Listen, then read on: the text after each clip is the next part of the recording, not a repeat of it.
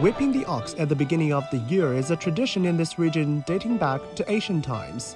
Ox or buffalo were a very important means of production in agricultural society, and it was believed that whipping the animal would motivate them to plow the farmlands. It gradually became a ceremonial ritual, and now people whip the statue of an ox to wish for a good climate and a good harvest in the coming year. The town of Zhouzhuang is holding a series of activities during the seven day Spring Festival holiday. One of the main attractions is the ceremony welcoming the God of Fortune, a unique event that attracts tourists from around the country.